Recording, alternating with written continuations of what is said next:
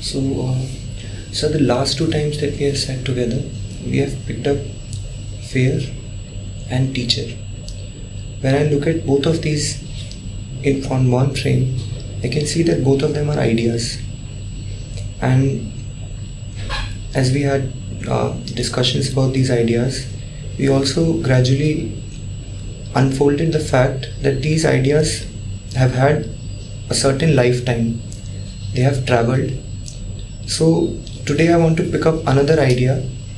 I would want to historically contextualize it and I would want both of us to look at this idea together and try to explore how it has developed, how it has gradually become something else and in this historical method I would try to question the idea in itself.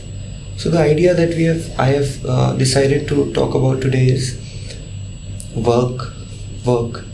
So in our common parlance, there's a certain way in which this idea is is talked about. There's a certain attitude that we have about this idea. So let me let me give you an example. If I am playing cricket in a ground and somebody calls me up and asks me, "What are you doing?" I can't say I can I can say anything, but I can't say I'm working. And in contrast to this, if I am sitting in my room doing my homework, which is going to produce a particular end in the class tomorrow, then I can easily say that I am working. So this idea, I would also con- contextualize this historically, but today in our in 21st century, the way this idea is adopted, the way it is being talked about, this one thing is common that work is something with for which you have to exert yourself. There is a certain physical mental activity but activity not of any kind right? Activity which will produce a particular end. So you and i are talking talking now and had, had this camera not been here we could have not confidently said that we are working right? People sit in their rooms and they talk at length about topics. They can't say that they are working. However, if, if a camera is being put there and the same discussion is being uploaded on YouTube and it serves a particular purpose for those discussants, they can claim that they were working. So work, I'm not saying that this is this is the established idea. Yes, it is certainly established in the sense that it is prevalent today, right? So work a certain kind of activity which is a means to an end which is a means to an end. Now after having said this let me try to contextualize the whole idea of work. So when i think about this work so being a literature student i read this christian doctrine this biblical myth about adam and eve. So let me go back almost 6000 years 3900 bc so Adam and Eve are in the Garden of Eden, and God has said unto Adam that the entire existence is there to serve you. Okay, enjoy yourself, do everything that you wish to, just don't do one thing. You all know what that thing is, which is prohibited. God says, God has said to Adam, do everything, but just don't eat this apple, right? This is a forbidden fruit. And we all know the the story. Then sub, the, the Satan Lucifer steps in. He, he uh, convinces uh, Eve, then Eve convinces Adam, and so on and so forth. The result, the outcome is that that God, the Father, has has now Adam and Eve standing in front of him, and God says, "See, you have done what I didn't, what I told you to not to do, and now there has to be a punishment, right? And there is a punishment that is given to Adam, and very interestingly, that punishment that is given to Adam is that now he will have to work." Now he will have to work. Earlier there was no need to work. The existence was there to serve him, right? If he wanted food, food was available. If he wanted water, water was available. Everything was available. Now, since that Adam has sinned, and this is the original sin, since that Adam has sinned, God has informed, God is informing Adam that do now you'll have to work, now you'll have to earn your livelihood. And God says to Adam, and I'm quoting, that by by the sweat of your brow, by the sweat of your brow, you will have to earn your food until you return to the ground. And this is very interesting. So, this is one particular definition of what work is. Work is by definition miserable. Work is by definition something you are not interested in. Work is by definition. Repeat that. Repeat with repeat what? By the sweat of your brow. By the sweat. Okay, I'll quote it. I'll quote it in as many words. It says, "By the sweat of your brow, you will eat your food. By the sweat of your brow, you will eat your food until you return to the ground." So God has said this to Adam, and Adam is of course not very happy. God says, "Do this for 930 years." 930 years. Your life is of 930 years, and you're doomed to do this. So work. What are the key points that we have touched upon? Work is something which is a kind of a punishment. It has been commanded upon you. Never really wanted to do it. It is by definition miserable, and it you are doing it for somebody. You're not doing it for yourself. You're doing for somebody, and it is miserable. Now Adam has started working, and we are, mm, as we all know, the succeeders of Adam. So Adam has started working. Adam works, and interestingly, it is work which distinguishes the life in paradise from the world we know today. The life in the life of paradise there was no work, and when then the paradise got lost, and then work stepped in, stepped onto earth. Now let me let me shift, let me take a big leap and come to Saint Augustine, 3, 396 AD, the Bishop of Hippo. Now what he does is, after so these many years, what he does is he resurrects this idea. Uh, Orthodox Christianity, Catholicism. He says, see, the what what the sin that Adam has committed, we will have to pay for it. And he says, and I'm quoting, from this cup of sorrow, no one will be excused. From this cup of sorrow, no one will be excused. The cup, the cup that Adam has pledged will have to be drunk, must be drunk. So again, the same idea that that you'll have to be you have to work and you have to work for a particular end work is by definition miserable you never really wanted to do it but since you have committed a sin and god has punished you you'll have to do it okay there is a reward but only afterwards. Only you have after you have died. So if you want if you want to if you want uh, a compensation okay when you will die you will go to heaven right? As we have today you work from first to 30th and on the first of the next month you get your salary.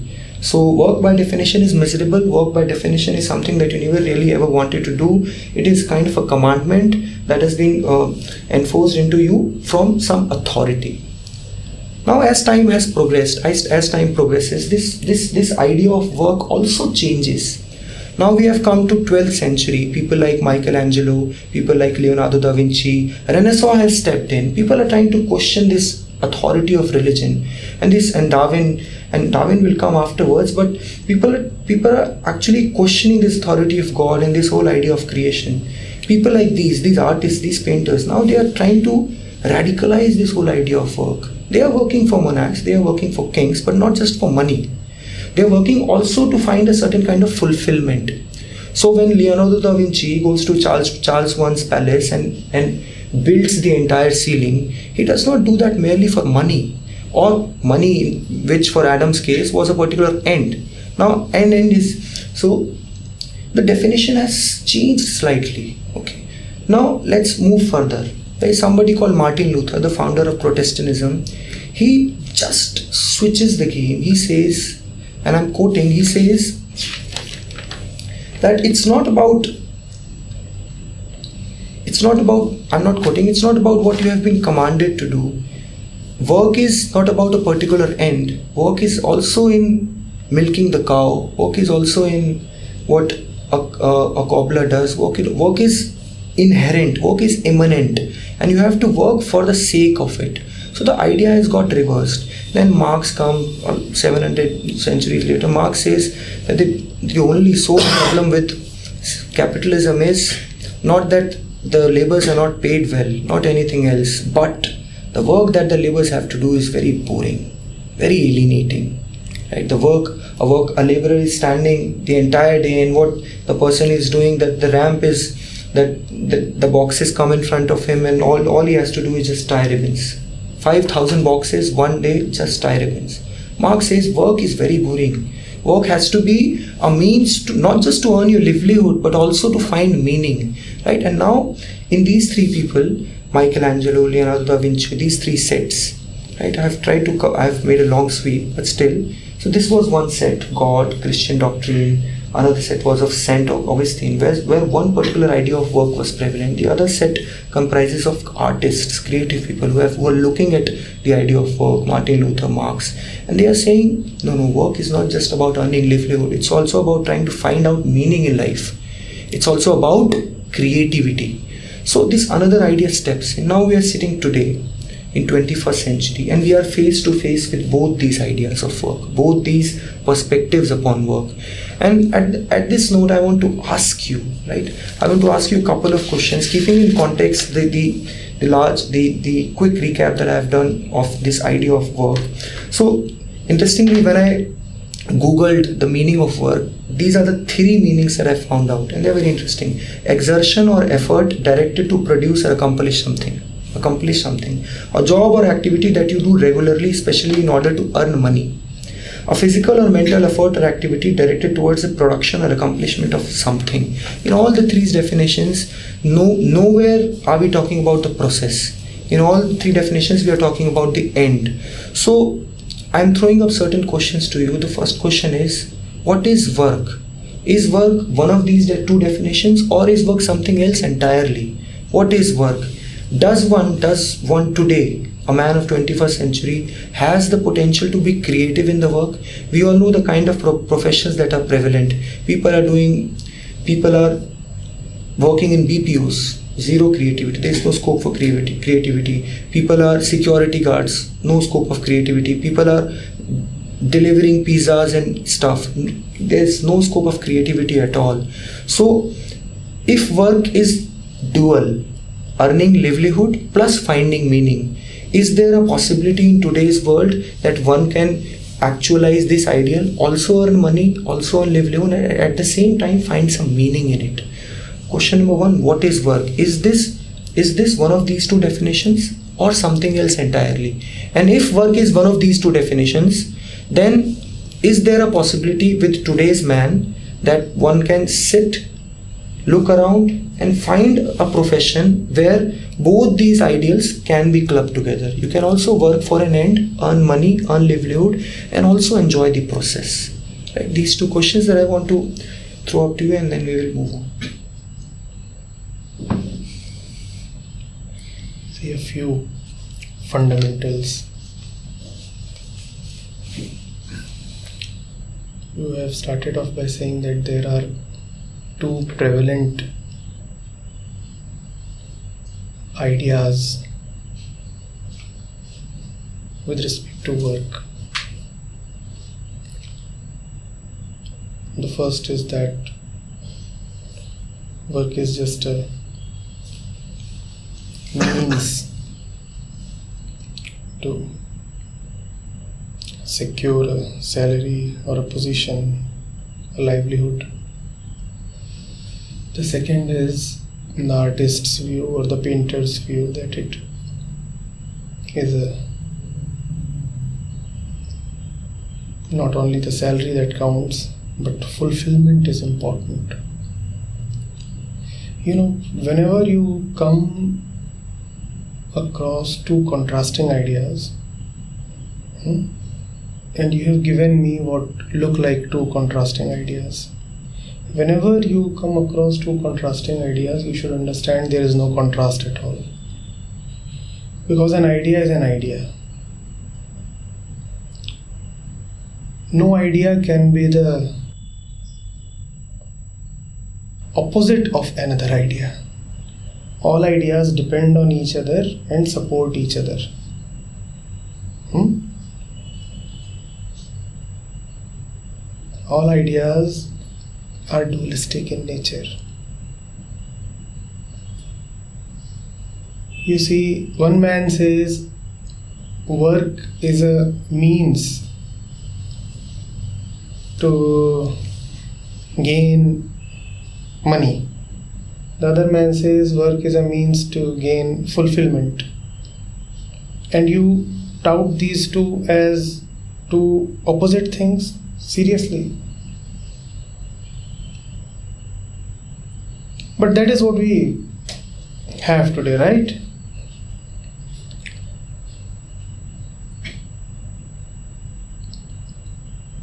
When one thing fails, we present another thing as a substitute. When one idea shows up as inadequate, all that we can offer is another idea. What are these two people doing? The first is saying work in order to get money. The other man is saying work in order to get fulfillment. But both are united in their self assessment. Both are saying that we are deficient. One is saying I am deficient because I need money. The other is saying I am deficient because I need fulfillment. Now, how is the demand for fulfillment any more sublime or advanced or respectable than the demand for hardcore material money? Don't you see that both are saying essentially the same thing? in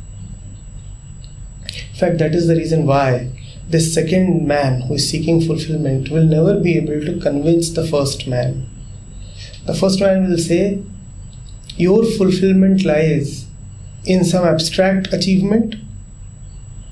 When you look at your painting, hmm, your heart really swells up and you call it fulfillment. My fulfillment lies in more tangible achievement. When I look at my bank account, my heart swells up. What painting is to your, my, your mind my bank statement is to my mind. Who are you to dictate that a painting is more pious than a bank statement?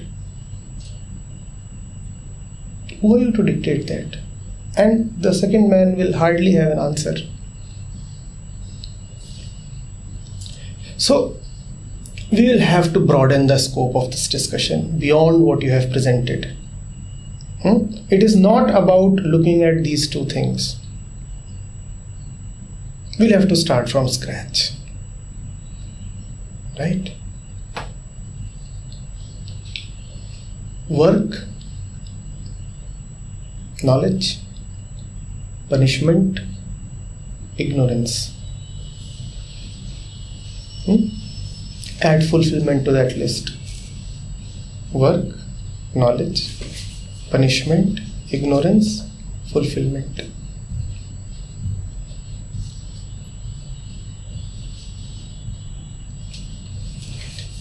What is the relation between these? Are they different? Are they one?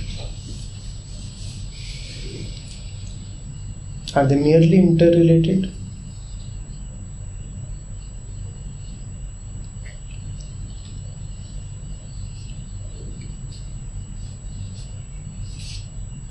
one thing we would all agree on whatever you call as work involves some kind of a movement by the organism hmm? Either a mental movement of thoughts or a physical movement of limbs and labor hmm. does it not yes Right. So, work firstly involves movement. Hmm? Without movement, we cannot say work is happening. Movement has to happen somewhere. Only then do you say that work is happening.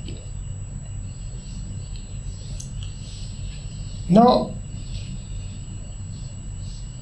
where does this movement come from? what is the quality of this movement? As I say something to you, movement has happened. Hmm? My vocal cords have moved. A wave have moved.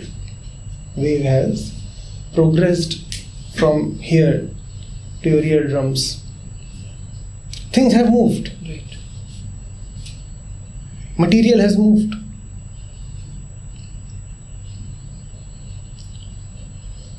from where is this movement coming? What is the quality of this movement? what is the quality of this movement? There is a particular movement that happens because I want something.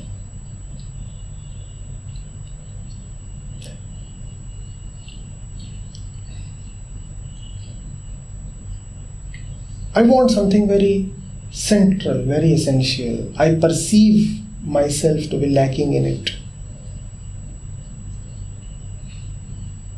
And so the movement is happening. Then why would the movement happen? The movement would happen in order to get that essential thing.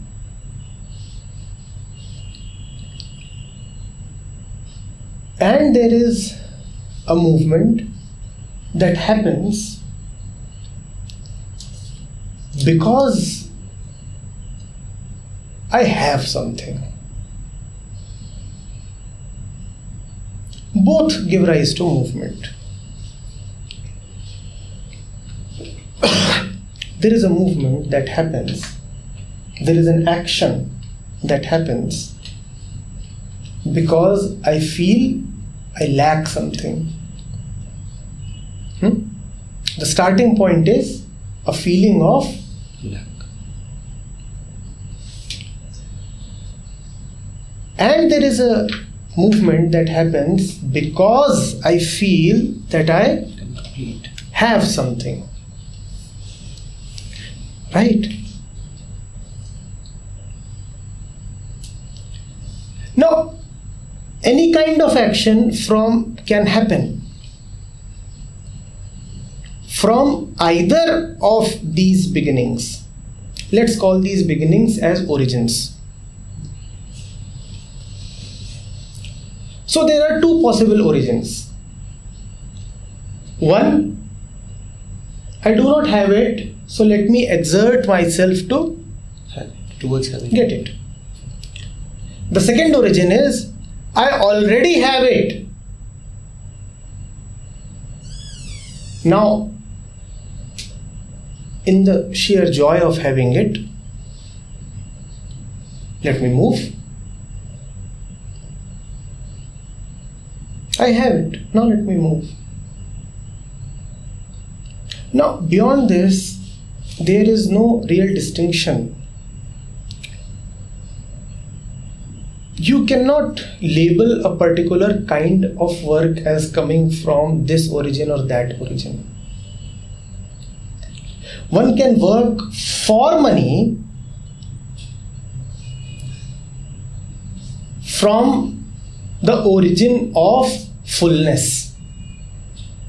Now that sounds paradoxical to the conditioned mind. Conditioned mind says, if you feel already full, then why are you working for money? And many moral people would raise objections. They would say, no, no, no. The one who is already full is in a state of moksha samadhi and he will no more need money. So why would he work for money? Not really so. And from the origin of hollowness, of incompleteness, one can work in the service of so called God or salvation. And again, the moral mind, the ignorant mind, would look at this work and say, you know, this man is really a spiritual man, a realized man. See, he is working towards God. What you would not realize is that he is working towards God from a totally wrong origin. Hmm? And when I say wrong, I am not making a value judgment. I am presenting a fact. We'll take more of that a little later. Why the second origin is really wrong. Hmm? Understand this very clearly. You could be very, very full and yet your action could have all the signs, marks, and labels of what has been traditionally thought to be the actions of an ignorant being. Being totally full, you can still be angry for a bowl of sugar. It's all right. Being totally full, you can still chase someone for sex. It is all right. Yes, of course. The dumb and ignorant eye, looking at this happening, would say that this person is a hypocrite. He could not be internally full. Had he been internally full, how could he have been chasing sex?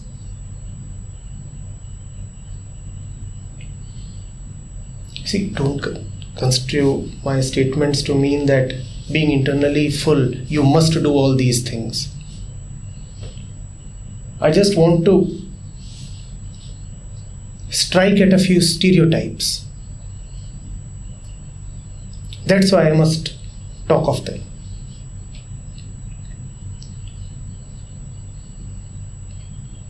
Fact is, we all face paradoxes. Paradoxes don't exist. Have you ever seen two facts fighting with each other? Imaginations fight with each other. Facts never fight with each other. Facts always support each other. Have you ever seen facts in disagreement with each other?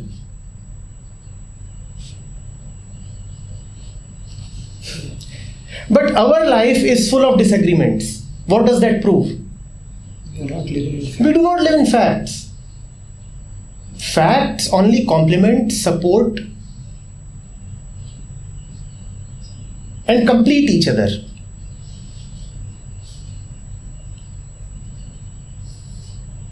So that is why we must strike down a few things as not being factual. Hmm? What happens is you, you, you, you look at a so called material man and why do you call him a material man? Because he's outwardly material. Because he's outwardly material. And then, if somehow life presents you with evidence that he has a deep inner calm within, then what do you have in front of you? A paradox. Now, paradox cannot exist. It only means that you are living in imaginations. you cannot reconcile these two things, right? That how can a man who seems to be chasing desires outwardly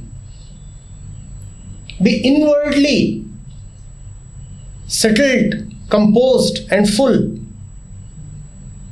And you say, no, this is not possible. Rationality does not support it. It does not support it. But it is possible. Provided, as we said, we strike at these stereotypes.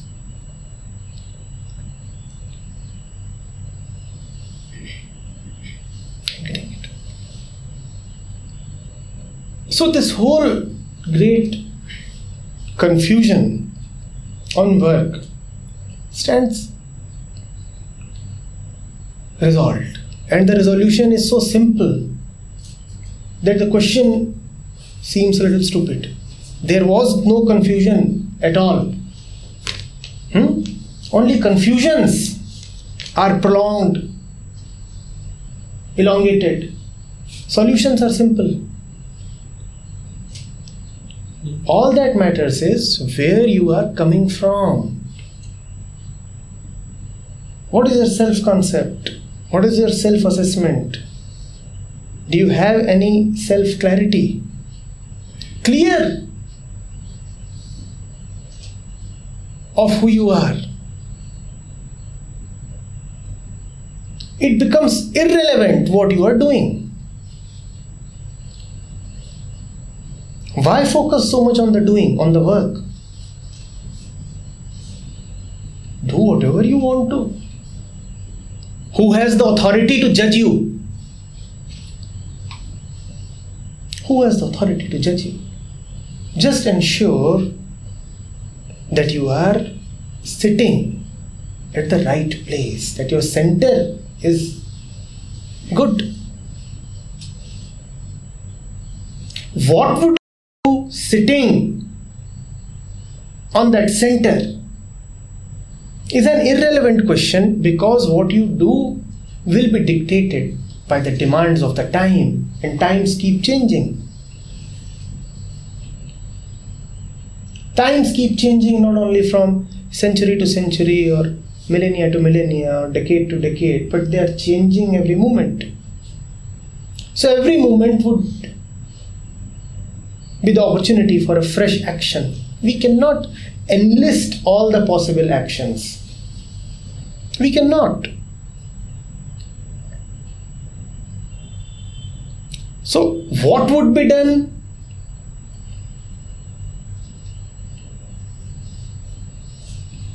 Is an irrelevant question to ask and an impossible question to answer. What would be done? Only you can know. Only you can know. But what I can say is, who will do it? And one must be able to ask the right questions in life. Answers don't matter. Never ask what to do, ask who is doing it. Hmm?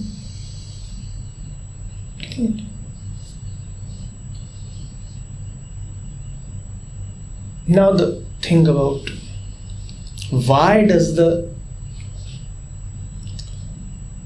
second origin exist at all?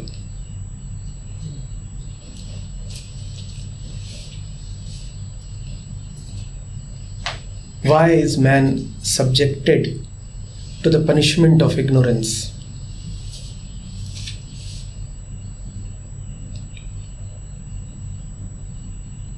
What is ignorance? But sir, if you allow me, before you step step into this, uh,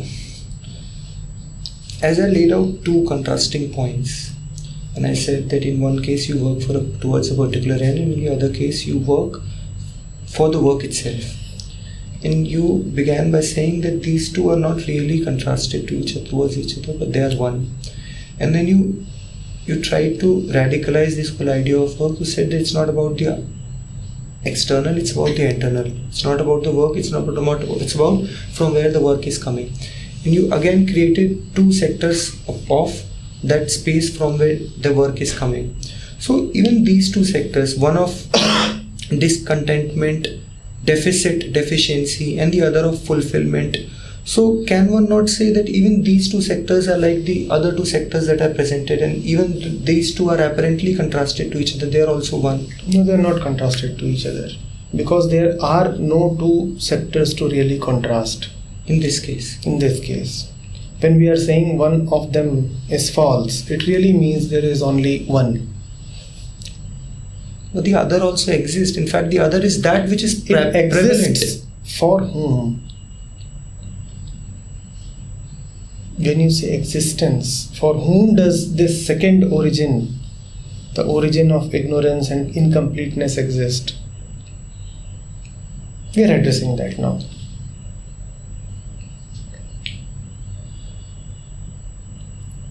So,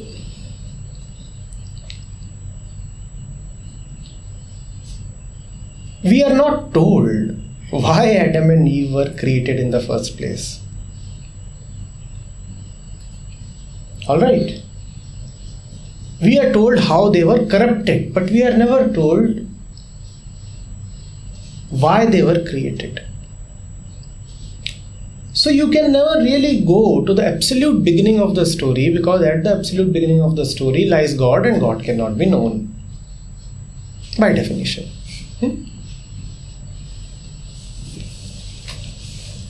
Otherwise, we'll have to call him and make him sit on this chair and ask him the first question that you tell us first of all, why did you begin the whole story? We will call the serpent later. The serpent only corrupted what you created first. And why did you create products that were corruptible? If you are God, then your creation should be godly. How are you creating these corruptible products?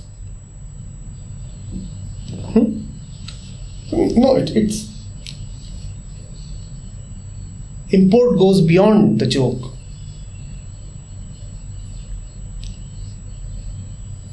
So the imperfection comes from the perfect source. Remember this.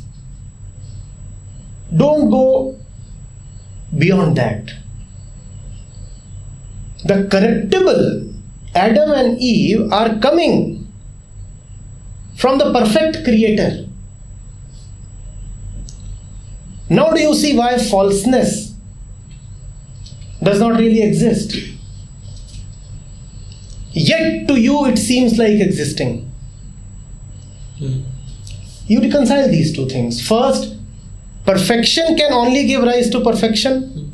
Second, perfection looks like giving rise to corruption.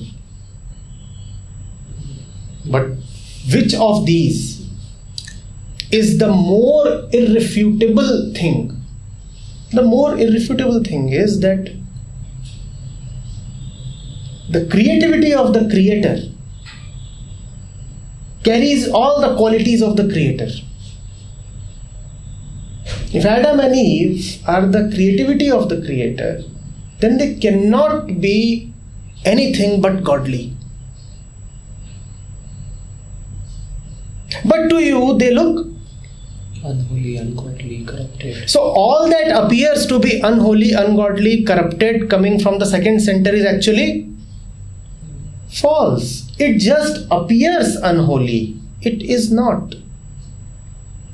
Because it is coming from God.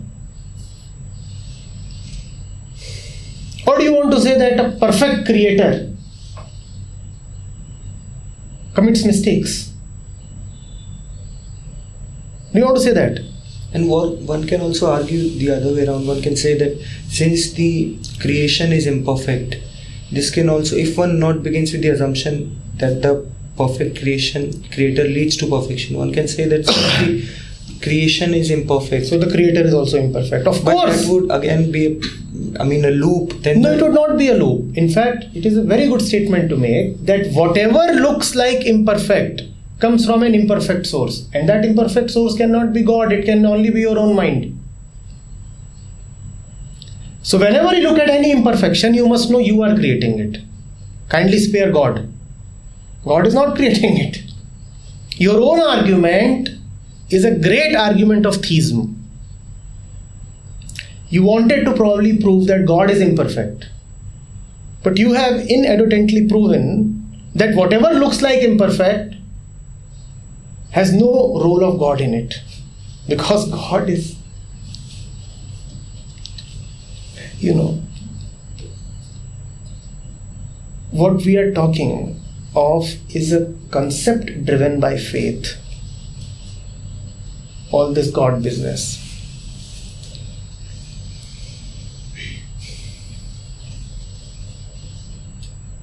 Otherwise, you cannot really go ahead and prove any of this thing about perfection or imperfection. Without faith, it is not possible.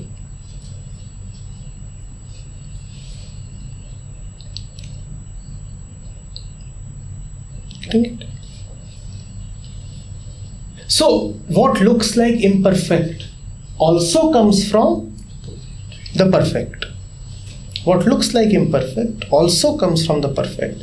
That is why it is variously said that the truth shines even in its own absence. If it looks like truth, it is truth. If it looks like false, it is still truth because truth is all that there is.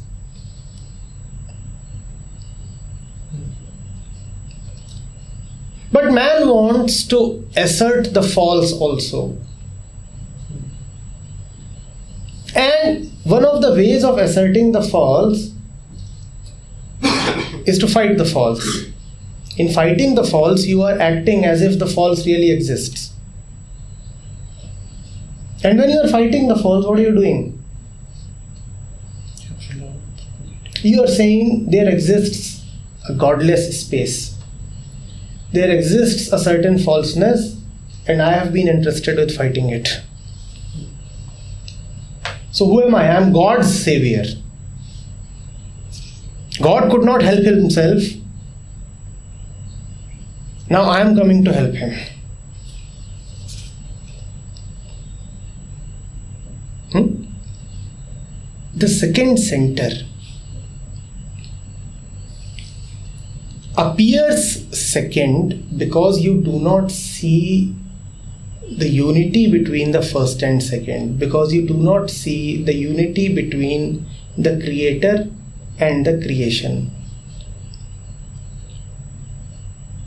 That will now bring us to how this myth that there does exist a separation get propagated and strengthened.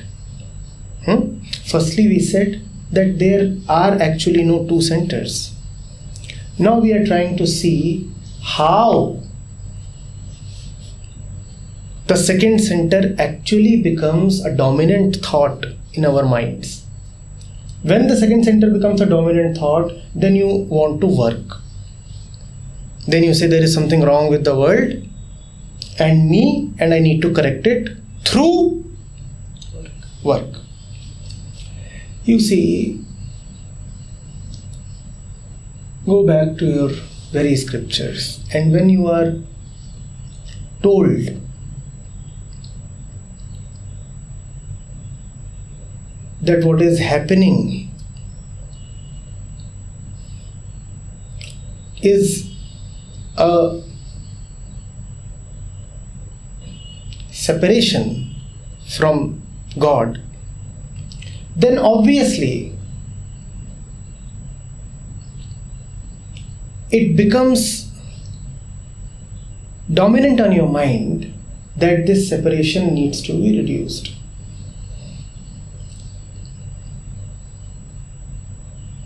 And most scriptures have done this. They have repeatedly told you that your life as a human being is some kind of a departure from Godhood. They've also kept the door, the option to return open. Now that you have been separated, you can do such and such things to come back to God, and that is called as heaven. Hmm? Attainment of heaven, liberation, nirvana, moksha, whatever. But they've all asserted that you have been separated.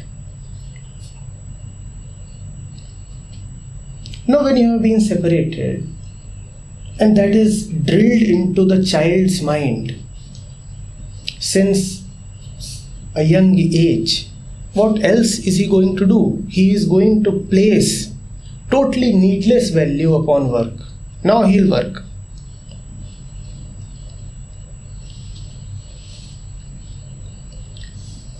I'm seeing what is happening. Now mother will tell him, You're not alright, and he'll believe. Now neighbors will tell him, Your grades are inferior compared to grades of somebody else, and he will believe. Now teachers will tell him, You need to become a responsible citizen, and he will believe. Now all this becoming thing will come into the picture. I need to become. Actually, the whole becoming desire is just a desire to return to the God source. But returning becomes relevant only when you have been first convinced that you have strayed away. Who convinces you that you have been pushed out of heaven in the first place? It begins with the scriptures and it is carried forward by the various forces in the family, society, and the classroom. Are you getting it? That is why it is extremely important that someone must arise and say that it is of much greater importance to keep asserting that God created man in his own image. And that too has been said, but not been given due importance and not been interpreted rightly.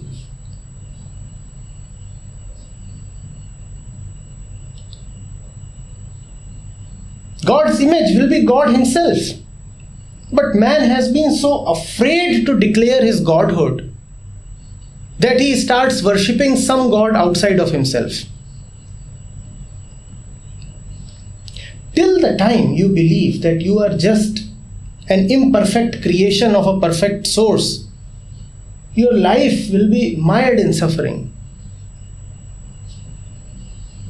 Which you would term as work. Which you would term as work. You are trying to cure yourself of a disease which you do not have.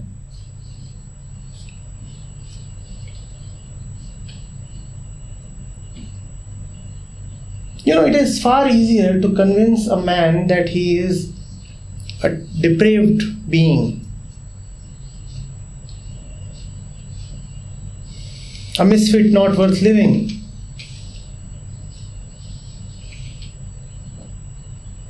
But to convince somebody of the godliness in him is almost impossible.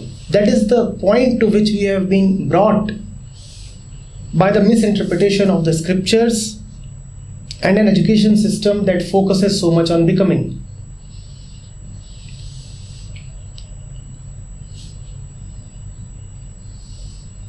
You see, in India,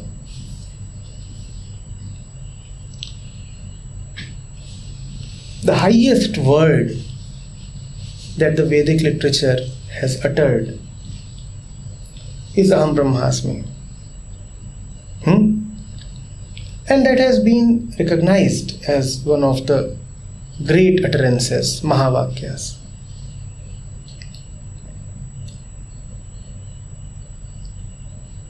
But still, in popular culture, if someone rises up and says, I indeed am Brahma,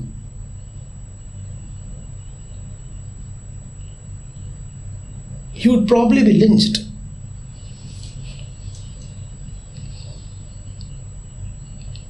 And if he is not lynched, he would be taken as extremely arrogant. It would be taken as a declaration of the ego, which it might indeed be. We are not denying that. 99% of the times it would be from the false center that you would rise up and claim that you are God. But this cynicism is so has has got such deep deep roots in our minds that we rule out the possibility. We've entirely closed the possibility. It's not even a possibility, it's the reality. What do you mean by possibility? Possibilities deal in probabilities. Here the probability is one. It is not the possibility, it is the present reality of which there is no substitute. You and I sitting and talking to each other here is God talking to Himself. But you will be so shy of saying that or admitting that. Look at the way you are smiling. This is the only thing that brings you to this nervous smile.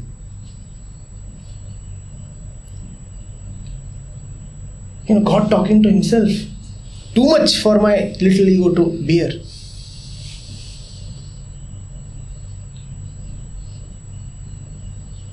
When you have convinced man of his littleness, is it any wonder that now he behaves in a petty man manner. When you have totally convinced man of his pettiness how else will he behave? And then you use his behavior as a proof of his pettiness. What rubbish is this? From where is his behavior coming? From where is his behavior coming?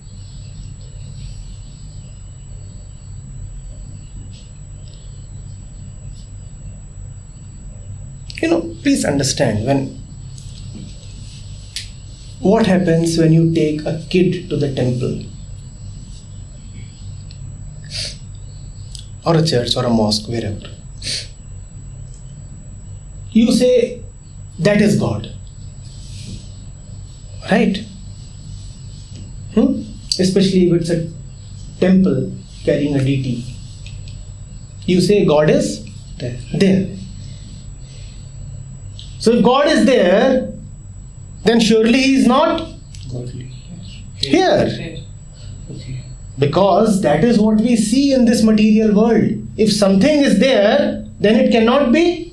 That is the very definition of something being there. There, not here. Hmm? You say, keep your sandals outside the temple premises, leave them there. Now, for sure, you are teaching the kid that where you left your sandals, God is not there. Now you may keep lecturing him on the omnipresence of God. He is never really going to take you seriously. He has taken his lesson. Where I keep my sandals, God is not there. What is the point now in telling him that God is everywhere? Where is God? There in the sanctum sanctorum, not outside it.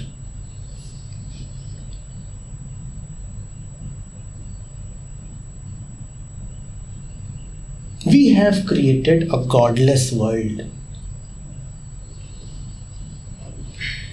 By saying that God created this world, we have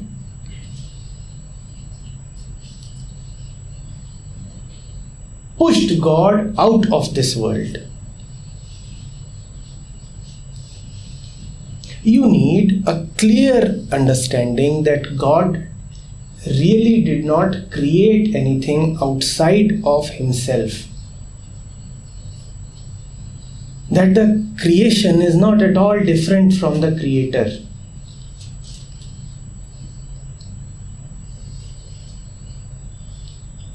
that you do not really need temples because every bit, every point is a temple. If you need a temple, then you need work to go to the temple. Do you understand? This is what work is. Where I am, a temple is not really there. So I need to do something to reach a temple. Now, that is work. A feeling of incompleteness, a feeling of the greatest not being with you. So you have to then do something. Hmm? Your own doership comes into question now. You have to do something to reach there. Now, becoming and a future become important. Because all doing takes time. So it will happen only in the future.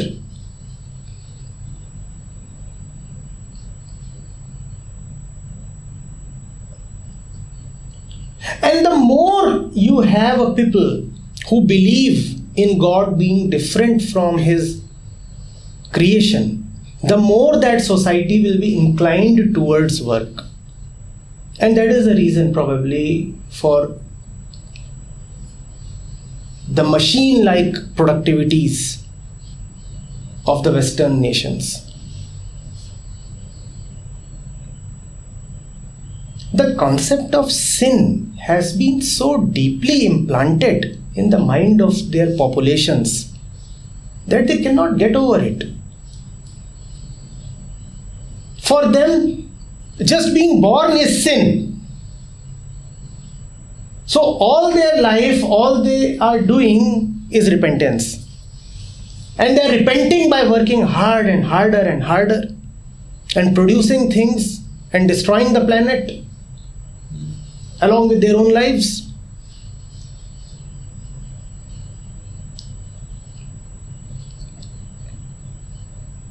You have convinced them totally of the virtue of work, which cannot be done without firstly convincing them of their own worthlessness. I am so worthless that I need to somehow become and prove worthy of just existing. But even in cultures where this idea of original sin has not existed, even these cultures have not done anything different. They have done, in fact, the opposite. They have gone into indifference. Like the culture we live in, we so the idea of original sin, according to me, does not exist.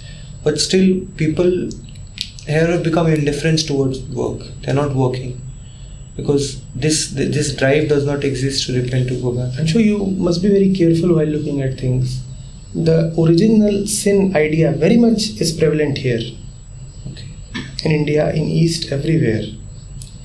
You see, wherever there would be thought, wherever there would be an idea, an idea related to anything, an idea related to a stone, related to a car, a machine, a man, a woman, a picture, anything, wherever there is an idea, that idea is always related to original sin. In fact, ideation itself is the original sin. You'll have to. You know, why do you ideate? Why? Why do you need to have ideas? To arrive at a particular conclusion. And why do you need that? Why do you need that? Because there is a lack of clarity in the mind, perhaps. Right. So the perfect has given rise to lack of clarity. Hmm? And that is the original sin. That is the original sin. So never say that in India we don't have the idea of original sin. You have other ideas and any idea. It's the idea of a departure from. Any idea. Any idea. You have other ideas here. So you, You do have the idea of returning back to Godhood or don't you have that? What else is moksha? What else is moksha? And what are you returning to if you never departed? Hmm. All your scriptures repeatedly talk of moksha and that it is the highest attainable. What do you mean by attaining moksha? So the fact is, if you really read the scriptures, they are not saying that moksha is to be attained. They are simply saying that samadhi is your swabhav, that it is what is. It is already there. But in the common culture,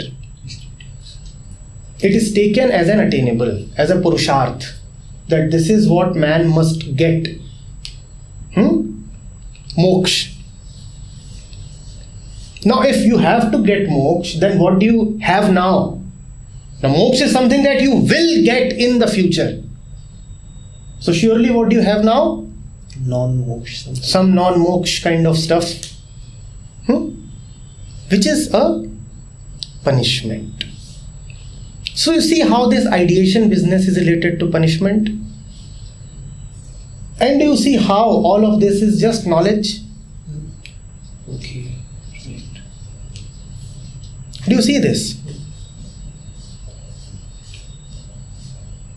And do you also see how the societies that are so productive are also very knowledgeable? Do you see a relationship? You look at the Germans or the Japanese. Hmm? Full of knowledge. I'm pretty sure number of patents per 1000 population would be among the highest in these countries. They generate so much of knowledge. What is this thirst for knowledge? And knowledge has been taken as a god. It's an indisputable ideal. Knowledge must be generated. I want to question that. I want to severely criticize that. Why do you need knowledge? And don't you see that this race after knowledge is the central cause of all your misery and the destruction that you are bringing yourself to?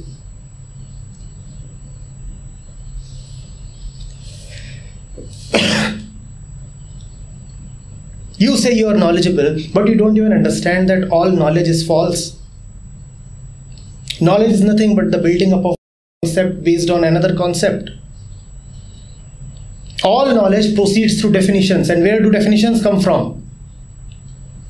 Are definitions an absolute, or are they all man made? For anything to be absolute, it must be based on something absolute. But you define this thing to be that thing and that thing to be that thing and then you proceed on that and then you claim i am very knowledgeable. And what do you use that so called knowledge for? To play around with material like kids.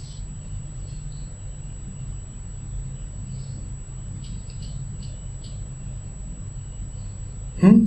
and you feel so happy when you are able to make a new toy. You call that great discovery or great invention and you give these kids Nobel Prizes.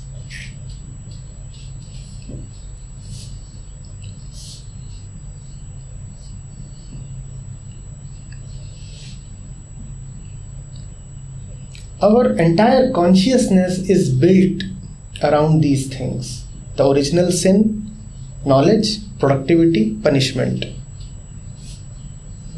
And I also said illusion, I want to say knowledge is ignorance. Ignorance is not the absence of knowledge, ignorance is the dominance of knowledge. When the Western mind says ignorance, all it means is lack of knowledge. It doesn't understand that ignorance is being knowledgeable. When you have knowledge, that is ignorance. It seems so absurd to a knowledgeable mind. To the knowledgeable mind. To the knowledgeable mind.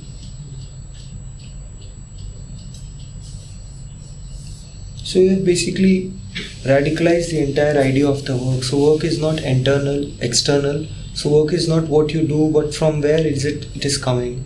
You have tried to create uh, two, but still not two spaces. The Thus, and you're saying that this discontentment, this lack of uh, this greed for fulfillment, this exists because we have been conditioned to believe so. Otherwise, it is not real at all.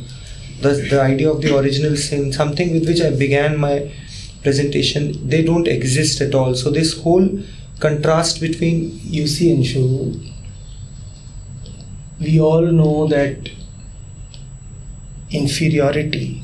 Hmm will lead to violence and all other kinds of sicknesses. Don't we know that?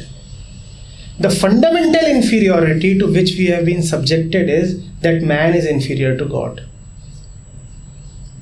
And we have been told that this inferiority is absolute hmm. and cannot be bridged. All your life you are working just to get rid of this fundamental inferiority. That is what can also be called as the fundamental incompleteness or the original sin. Until man comes to see that he is one with God and in no way smaller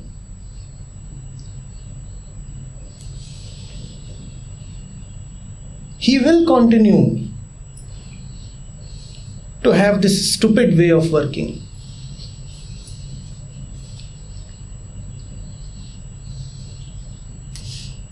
You are, in a sense, competing with God. You are always measuring God. You know, I am inferior, I need to reach there. So, how high is God? I need to reach there. And that's a totally ungodly act because God never measures, measures himself. Now I can see it very clearly. And since this whole thing has taken such deep roots in our unconscious that that a we have become completely aware unaware of this conditioning and b very interestingly we are trying to bridge it and now how does this attempt happening in the modern world so that god who was the father of adam that god now that god in today's world is my boss so is my boss so the deep con- uncon- desire of the unconscious is that i have to bridge gap with that god but since i cannot do it i know very unconsciously i, I know it You're so stuck between two impossible definitions. One, God cannot be attained. Second, Hmm. I will not rest till I attain God. Together, what do these two mean? First, God by definition is unattainable. That is what your culture has told you. Second, something that arises from within, which again is a product of, at least a semi product of conditioning. I cannot rest till I get God. So, together, what do these two give you? I can never rest. And that is what you have a restless life. You might be chasing anything, you might be chasing a productivity target, you might be chasing a new car, you might be chasing a bigger property. But you must realize that essentially all you are doing is trying to wash your original sin. You are chasing God, and by definition, He cannot be changed, chased. Yeah, and very interestingly, perhaps unknowingly, we have made a very big claim, a giant claim, and you, not I, I'm trying to understand it. And so we are saying that this modern society, the premise upon which it, it postulates itself, it says secularism and it's deeply religious in some sense. Religious not in the sense of religiosity, but in the sense of so when it says you get what I'm trying to say. You see, all religion that is these man-made. roots, that these roots, these myths are still there. Yeah, of course. These myths, they haven't died. Of course. They haven't. But then don't equate them with religion. And if you do equate them with religion, then don't give a lot of value to religion. You see, what is religion? Right. I mean, authoritative doc- religion of doctrines and all. And, ah, and all of them are man made. And all of them rest upon the assumption that there is a need to return to the center, that there is a need to attain God. That's the basic premise of religions. Hmm? Do religions take you towards God, or are they the reason why you feel godless? Is not every religion telling you this is the way to attain God? And you feel grateful, oh, finally somebody is there to guide me. If you have something right here and somebody guides you towards the same thing there, is he guiding you or misguiding you? It's guiding.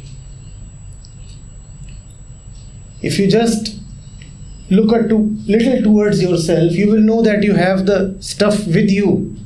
But he is saying, keep looking there, and you will get that stuff there. Is he guiding you or misguiding you? But he is very generously offering his hand. And with great authority he is saying you keep looking there. I know the truth. You'll find him there. This is a conspiracy in some way to prevent you from turning inwards So, if I were to summarize whatever we have discussed up till now, I'll put it in a nutshell and say that I began by asking you very emphatically. I gave you two definitions of work. I tried and I tried to draw these definitions historically. I told you that one is that you work for a particular end, you work for money, and the other other is that you work for creativity. You you try to work for the process itself, and you are you have entirely radicalized this this structural conception of mind and you're saying that it's it's not about what for you are working. It's about from where are you working. Are you working from a feeling of discontentment a feeling of incompleteness or are you working just because out of the sheer joy of fulfillment? Yeah, i mean everything is anyway moving. It is not moving because it is feeling sad hmm? when you look at this physical universe it is a universe of movement of change but nothing in this universe is moving because it is feeling miserable except man. Hmm? The stars are moving, sun is moving, moon is moving, animals are moving, everything is moving, nothing is still. The pace of movement might be different, but nothing is moving to gain fulfillment, spiritual salvation. Man is the only one who is moving because he wants God. Hmm? that only proves that man is the only one who is godless. Yes, some egoists may come and say that only proves that man is the only one who wants God. I would say no. That proves that man is the only one who firstly feels that he is godless. Because you want only that which you don't have or are. What comes first, the drive or the lack? The lack comes first. The lack comes first, and then you have the drive. Right. right. so far so good so it's the lack and which is a conditioning which is something an idea that has been planted into our minds which is making us work and work like madmen go into any and every profession that is that is promising us that it can bridge that primordial gap right? It is this lack. But when i when i look at it sociologically so you are saying that uh, work is happening because there is lack. And and we have to agree upon this fact that it is it is a reality in the world sociological world in the society that people are working merely because they feel discontent because they, they are they don't i mean there is no fulfillment in their hearts. So the first case is is a rare i mean is a rare thing right? They're working merely because they don't feel fulfilled. So according to this conception of ours they cannot attain fulfillment of course by working. So it's not it's not a matter of what which profession you choose.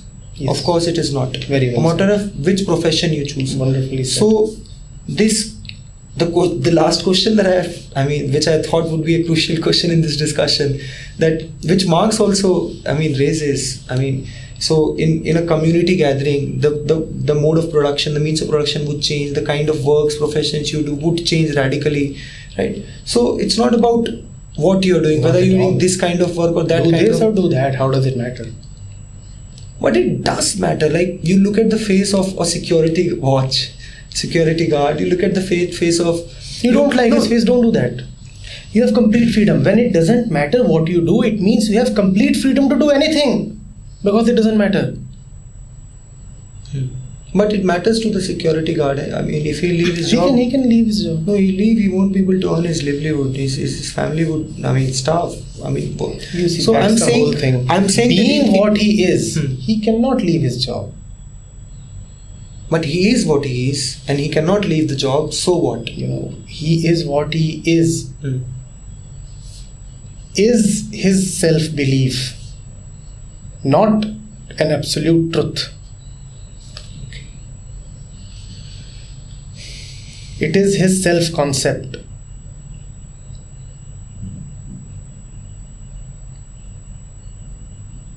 just because you know don't be taken in by a man's show of confidence. Just because he says a few things in a very personal and intimate way do not think that those things are coming from him. The security guard might say it is my life. It is my wife. And i have 10 kids. And i have a house to run. And i have this and that and one must take care of his responsibilities and i have my old parents to take care of hmm? and i have to follow mm, this i have to follow that you have to clearly see that all of this is just ideation was the guard born with these thoughts?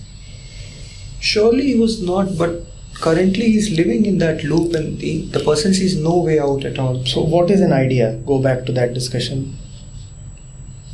What is an idea?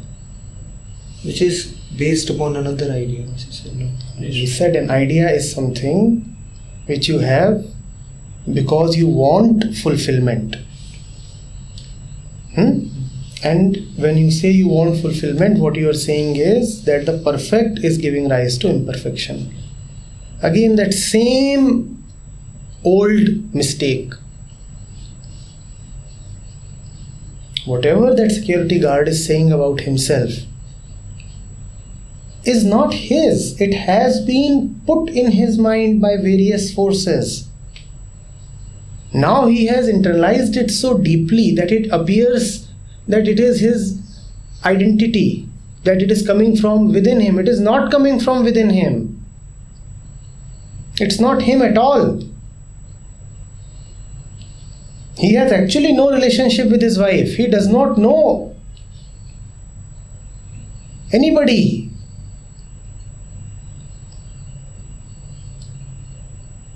So don't you have anything to so next step? Don't you have anything to say about this whole game upon which upon which uh, this whole game of uh, uh, injecting ideas into people's mind, conditioning them, and so so the market of today, today's market forces, they realize that man is, ha- I mean that they realize that we have injected a certain idea of lack in his mind. They are quite aware of that, that old myth that god so so and the man is imperfect and they are pouncing upon they are working upon this incompleteness this feeling of incompleteness. And hence as a result i mean all these different professions which are completely non-creative mechanical are coming up so don't you have to say about this and i mean anything about this that the kinds of works that are prevalent there is No, no, rasa in them You know, there is no rasa even in the idea that you are not God. So you have to go back to it. Do not blame the market forces of today. The market forces of today are not coming from nowhere. They are coming from the entire stream of thought of mankind. Hmm? They are coming from the entire stream of thought. Is there any juice in, first of all, thinking that you are a stupid, lousy thing who has been thrown into a hostile world and who is condemned to always remain imperfect?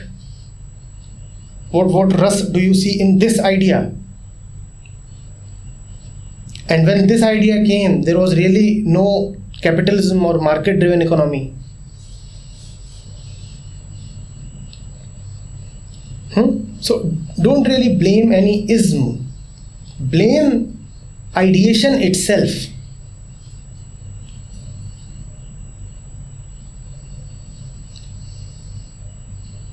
This ism or that ism, all of them are ideas claiming to provide man with fulfillment. What does an ideology, any ideology, eventually promise? Fulfillment. It may differ in the means, the ends, its entire outlook, the way it models the universe.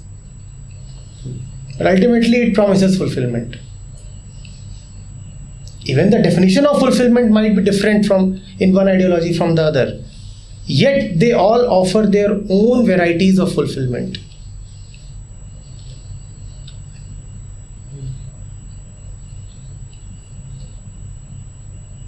You want a way out. The way out is to just keep seeing that anything that tells you that there is something really, really wrong with you, anything that gives you a dream, anything that gives you a destination is false.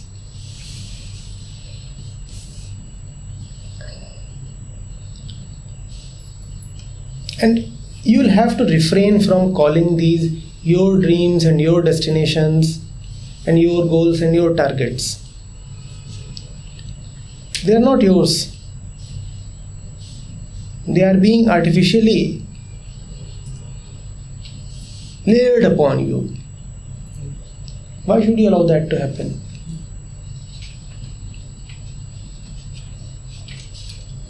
Hmm? So it's quite possible that apparently at the external level, the work you are doing is very mechanical, non-creative, but you might be doing it with joy. It's quite, it's very much possible. So it's not about the work that you are doing. Not at all. And the vice versa, the opposite was also. You true. know, seeking fulfillment through work is stupid. Pitiable are those people who say that, you know, this particular work is my passion. But the commons love these people. Somebody comes and says, you know, I, I am a folk singer and I love my work. It's like saying I love my medicine when I'm not even sick. I love my medicine when I'm not even sick.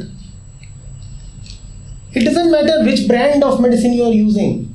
But how can somebody love his work? Yes, you can be love personified, and then any work is all right. Whatever you would be doing, you would bring the quality of love to it. But that quality would not be provided by the work. You are saying that love is located outside of you and work will bring it to you. It's foolhardy. Absolutely foolhardy. And you have managers and bosses saying you must love your work. The fellow has no love in his heart. How can there be love in the work? He does not love his wife, his kids, the dogs, the goats, the elephants, the rivers. He has never loved anything. Now you're saying, love the work. Whom are we fooling? So, you should be able to see through the stupidity of all this thing. I really love technology. Oh, nerds and geeks. And he's sitting the entire day in front of his system, and you know, mine is a startup, and I'm working towards a new patent. And he say he is madly in love with this work. Yeah, you read his mind. The bugger is afraid of roaming into the wild. He's actually hiding his face in front of the screen. That's all. Can't go anywhere else. Scared of the wife, scared of the neighbors, scared of the universe, scared of existence itself, scared of his own minds and thoughts. What does he do? Sit in front of the system and but as a face saving device, he says, I love my work. Yeah, I love my poison. I love my medicine. When I'm not even sick. Hmm?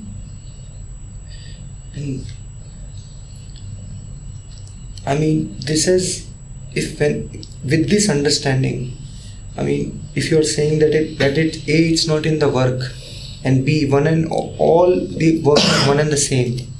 A that it's not in the work, what what which work you do, and b that all all the works are one and the same.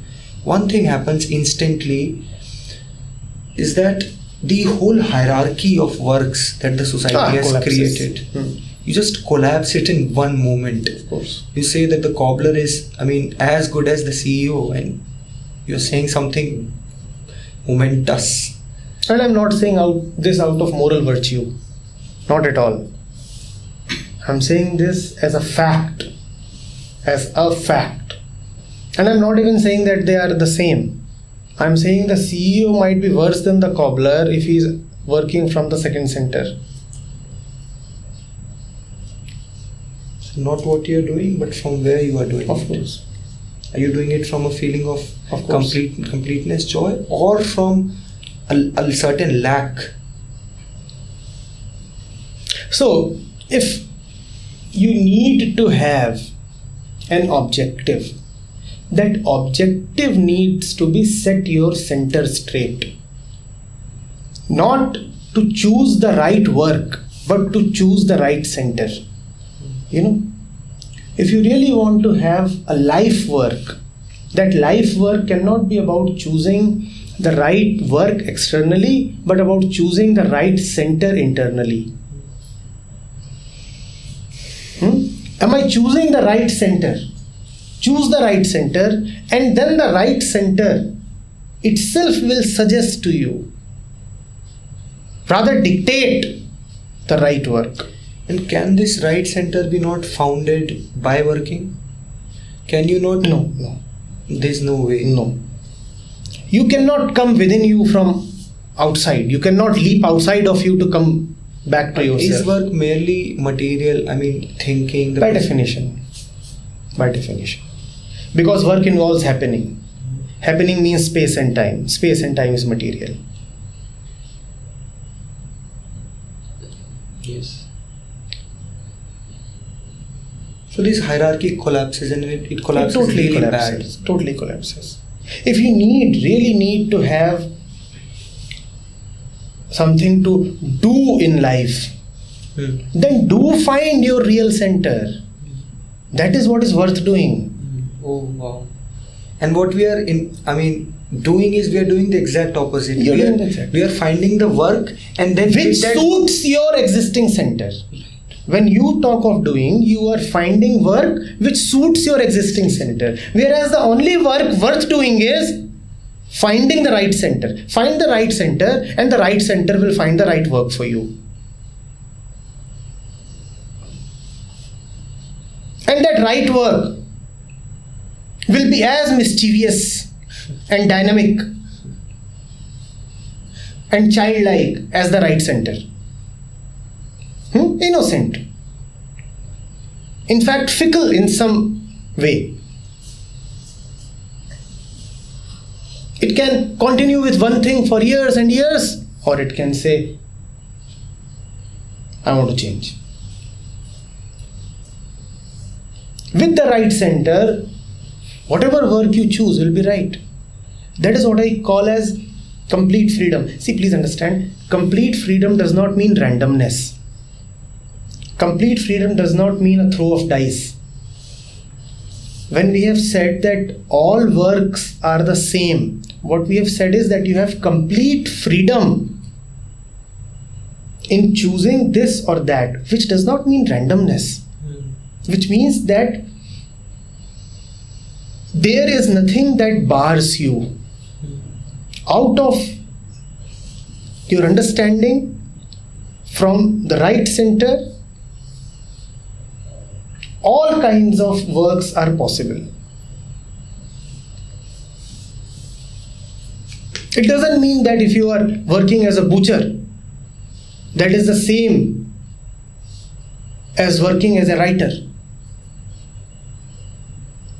When you shift centers there is a great possibility that the work would also change if you are working as a killer hmm. as a slayer of animals hmm.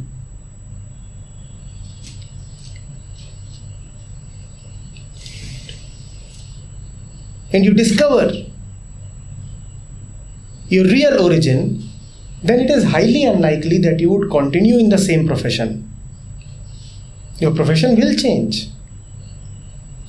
But what would you change it to? We do not know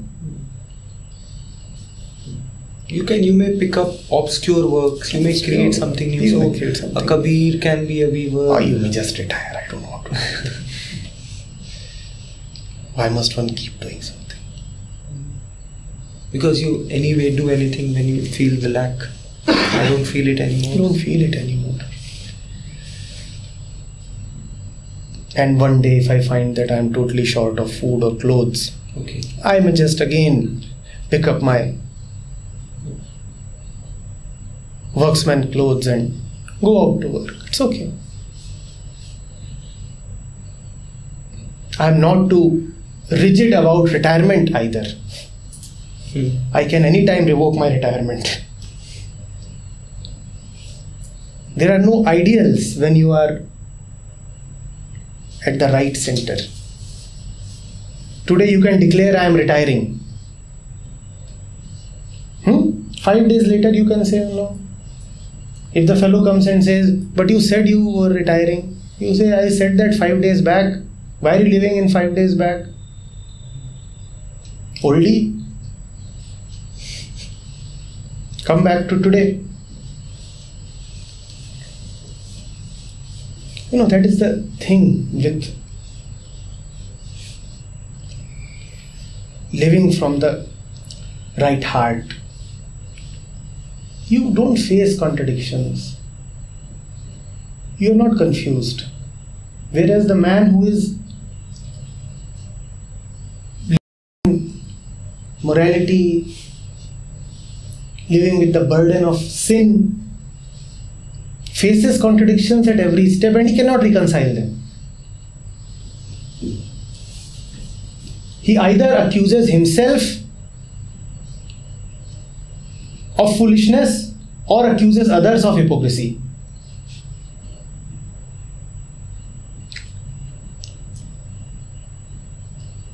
You don't see any contradictions. Going left, you can start walking right all of a sudden for no reason, and there's no contradiction in it.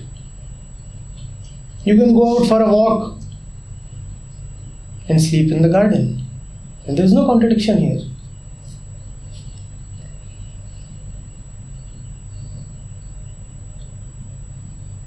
You can go out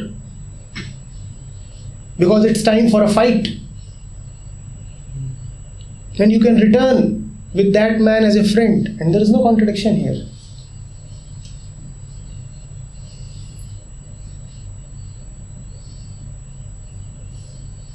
But if you are operating from the second center, then you will say, No, but he was supposed to be the enemy.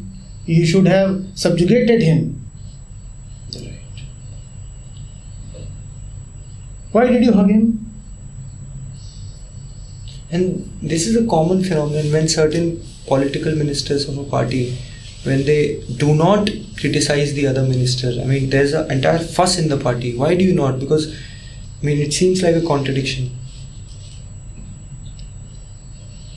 And you can criticize somebody and be his admirer at the same time. That is what is meant by complete freedom.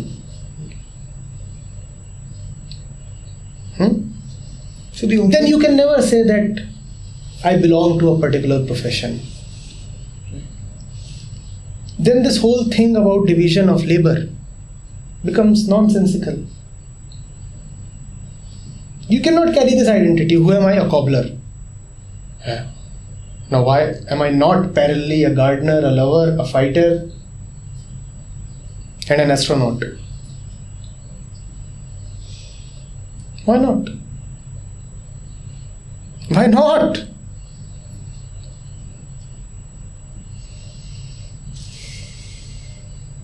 And with all these together, of course, I have to be a Superman. so add that to the list.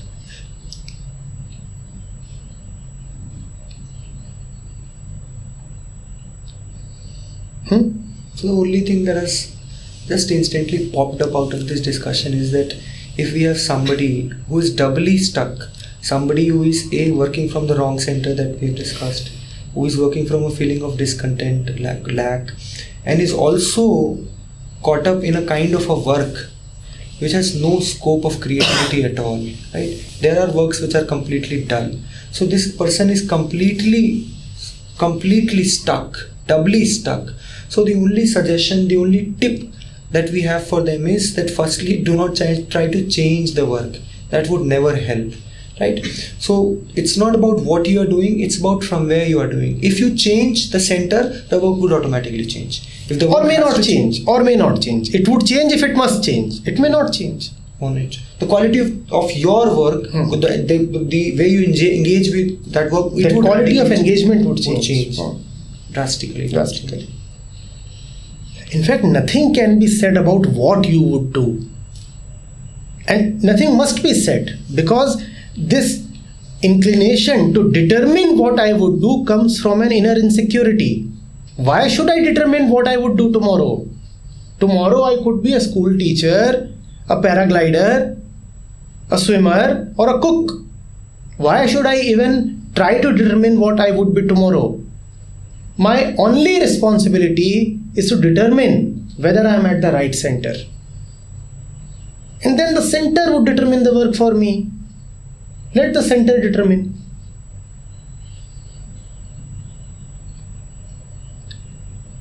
See, sir, one thing that I can see very clearly is now I'm looking, reflecting upon, I'm recalling uh, the way I brought forward this topic.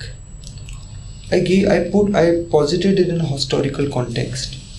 Now, now, currently, it seems to me that that the worthwhile question is not what is work, what what are the things one should work for.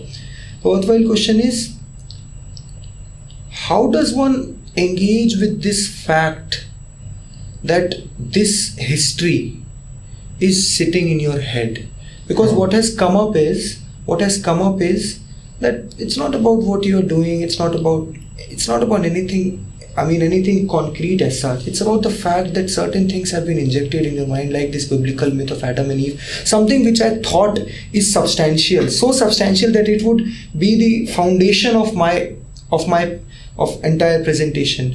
And now I can see that it is the main cause which has led to this uh, misreadings of this uh, misreadings of the whole idea of work. So perhaps the last question and something that I would I should have begun with, right?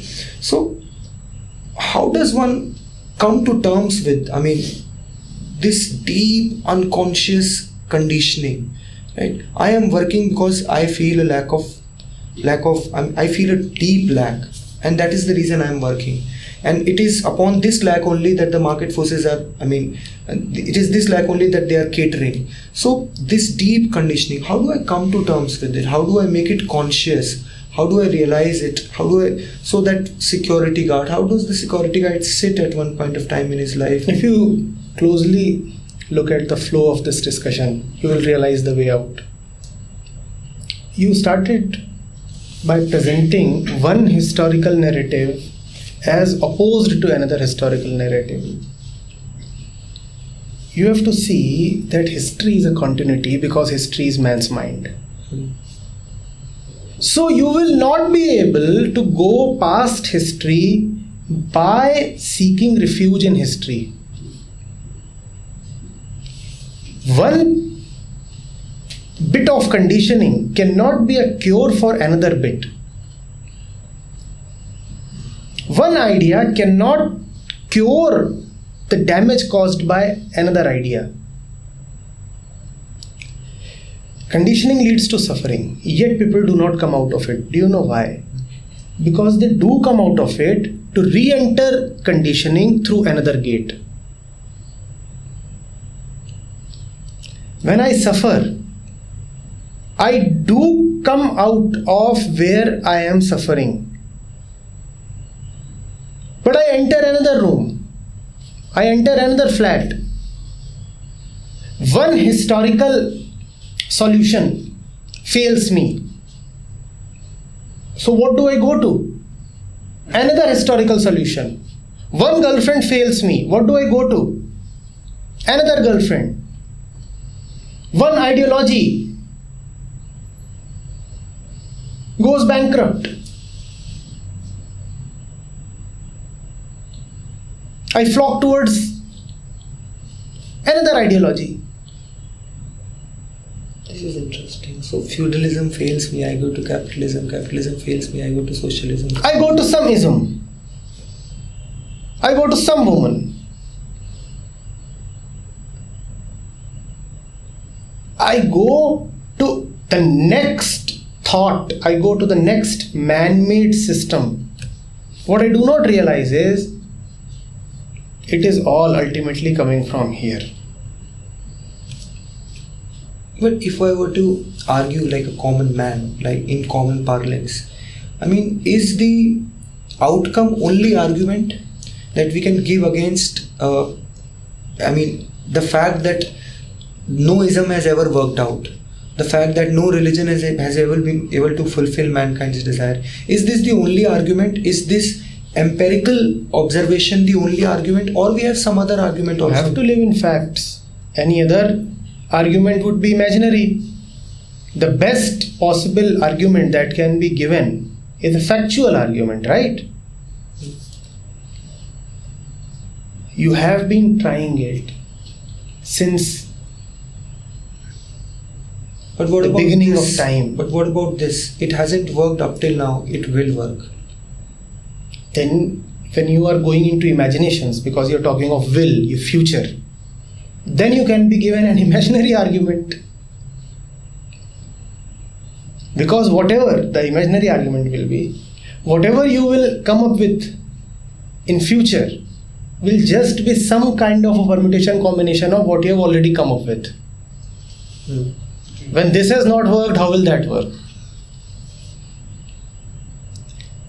have you ever come up with anything new? You have always come up with another idea.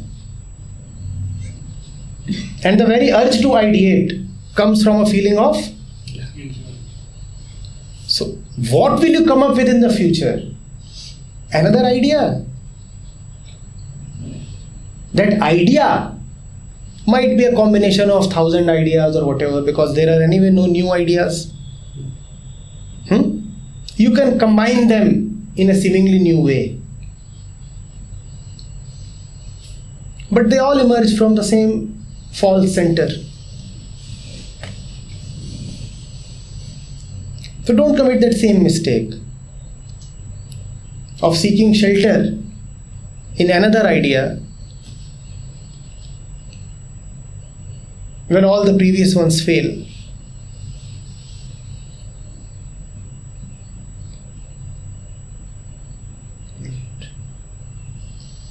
This discussion has uh, somehow reached, has touched points which were, I mean, never meant to be touched. As you said that I'm sure we'll have to begin from scratch, and we literally began from scratch, and we touched those points that were, in my understanding, not to be touched, or those points that were out of the context. So, if I were to summarize this discussion, which is which seems uh, very digressive but has a has some coherence in it, I, I said work is either towards a particular end or for the process itself. You countered this assumption, this this model of mine, and you said that Anshu, it's not about whether you're working for something or whether you're working for the process. It's not about the object of your work. It's about the subject of work. It's about the quality. It's it, that it's about the center from which you are working. And then we discussed at length about the lack, the idea of the lack, the discontentment, and now we have arrived at a point where uh, I can. I mean, I can see, at least I can see, and I hope that the audience has also been able to see that the whole game about changing professions, the whole game about changing isms, the whole game about changing ideas would never work, is bound to fail because at the very foundation of this game of becoming is the idea that you lack in something. And unless we go deep down and check that lack, right, things won't fix. So instead of questioning, I mean, what is work, what is creativity, what all professions are the ones that have to be picked in today's society, we have to raise more fundamental questions. We have to ask who works and whoever works works with what quality of mind. So at this point, I would like to thank you, Acharya Prashant. It was really a nice discussion, and I hope the audience has been helped. Welcome. Thanks a lot.